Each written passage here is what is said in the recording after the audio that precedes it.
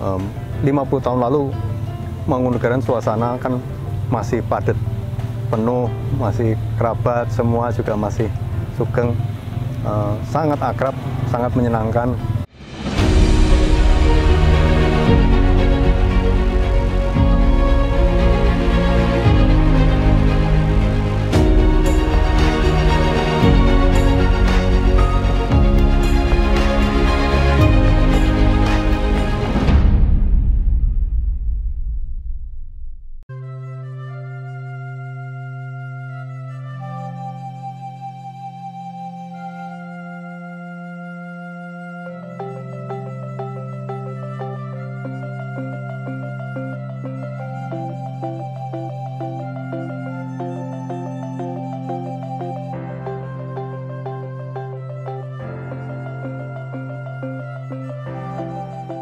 Assalamualaikum warahmatullahi wabarakatuh.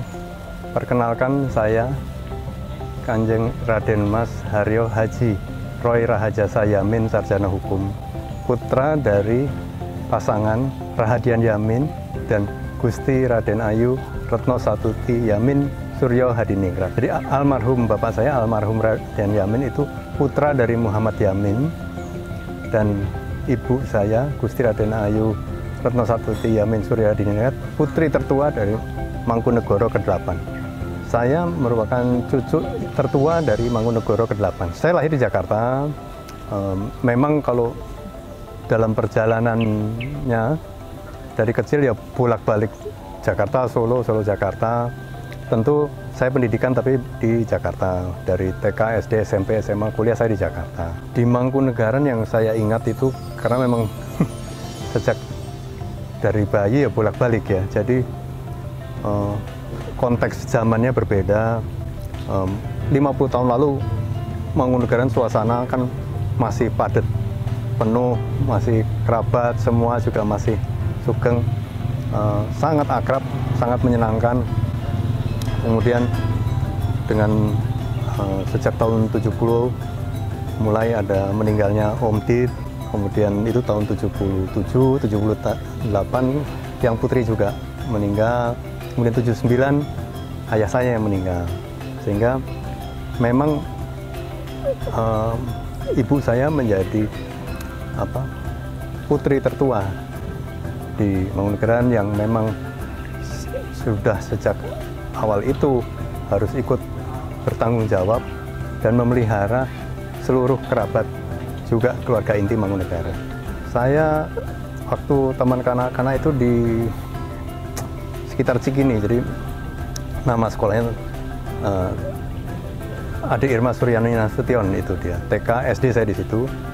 Kemudian SMP masuk SMP 1 negeri di daerah Cikini. Kemudian SMA, SMA Negeri 3 di Setiabudi. Dan waktu kuliah sempat ke Bandung setahun, kemudian melanjutkan di Trisakti uh, Fakultas Hukum.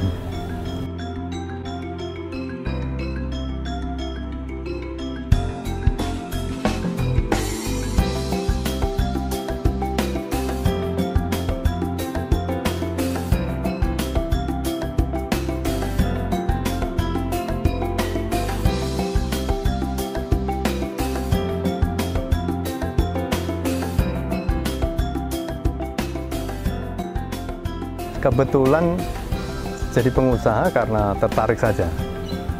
Um, dimulai mungkin sejak tahun 90-an ya, 91 saya magang di sempat di Bimantara Citra, kemudian juga konsultan hukum.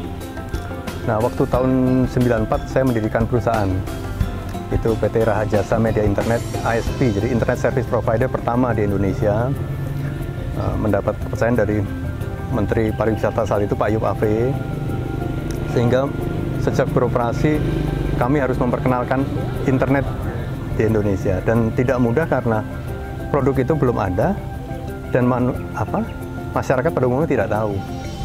Sementara jaringan internet atau jaringan data waktu itu sangat lambat. Nah tantangan-tantangan seperti itu yang akhirnya dapat kami lalui.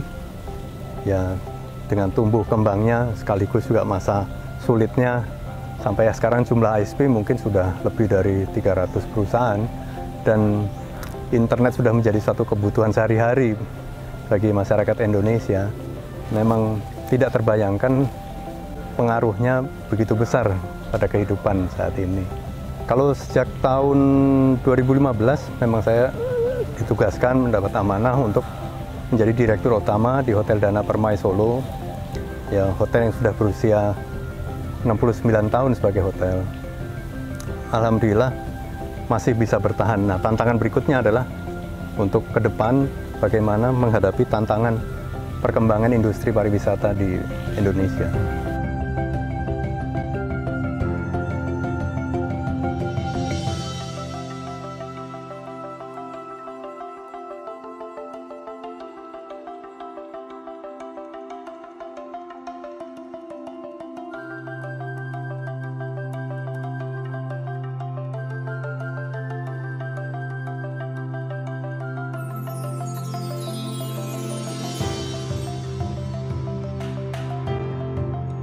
Jadi bahwa Hotel Dana secara fisik bangunan kan memang sudah berusia lebih dari 100 tahun.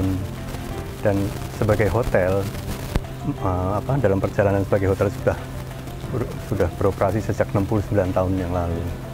Jadi kami pandang perlu dari pengurus maupun pemegang saham untuk melakukan apa, perbaikan, jadi juga re renovasi ataupun uh, restorasi.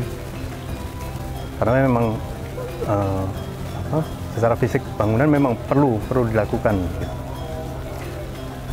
sekaligus untuk pelestarian ya, pelestarian dan pengembangan budaya Jawa khususnya budaya Mangkunegaran karena sejak saya masuk di kepengurusan Hotel Dana itu di 2015 sampai saat ini memang begitu banyak apa, perkembangan yang baik.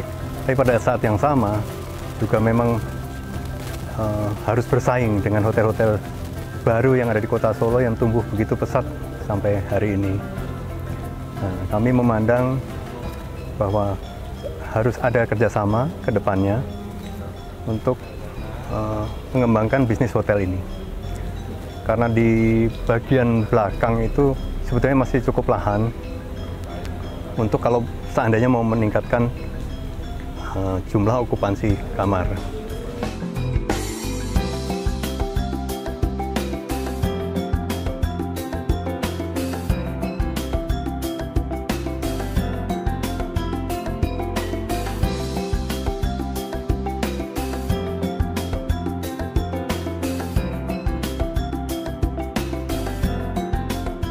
Hotel Dana ini kaitannya dengan Mangkunegaran sebetulnya sebagai aset yang dimiliki oleh Yayasan Surya Sumira. Gitu. Jadi yang mengelola aset Mangkunegaran itu namanya Yayasan Surya Sumira.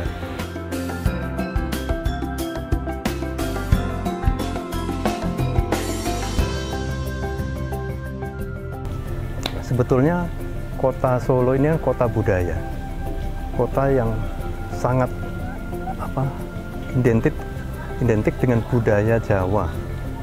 Sehingga sebaiknya memang dilestarikan dan untuk menunjang pariwisata nasional. Sangat banyak eh, apa hal-hal yang bersifat budaya yang bisa dikembangkan di kota Solo.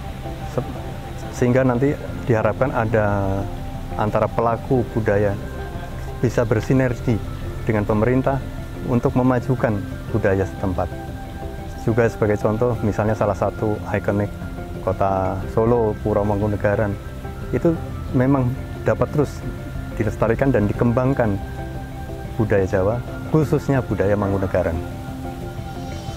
di Solo ada Keraton Surakarta ada Pura Mangkunegaran sebagai pusat budaya yang sebetulnya bisa ditumbuh kembangkan untuk dilestarikan juga dikembangkan. Sebagai pusat budaya yang harus kita uri-uri dan tentunya untuk pembelajaran budaya ke depannya. Negara yang besar adalah negara yang kembali pada citra budaya negara itu sendiri.